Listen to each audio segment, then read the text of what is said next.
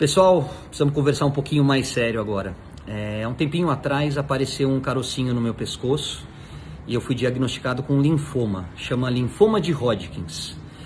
A boa notícia, e esse é o motivo de eu estar gravando esse vídeo, é que ele tem 95% de cura e o meu corpo está respondendo muito bem ao tratamento. Eu já estou na penúltima sessão de quimioterapia, forte, com a cabeça boa, e eu tenho certeza que mais 15 dias isso vai passar.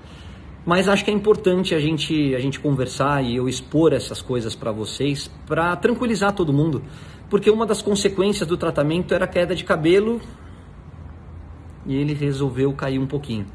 Então pretendo continuar trabalhando, estou com energia, estou com a cabeça boa, mas talvez vocês me vejam um pouquinho mais abatido e mais careca, mais careca no ar, mais forte, forte porque eu tenho certeza que a gente vai passar por tudo isso juntos.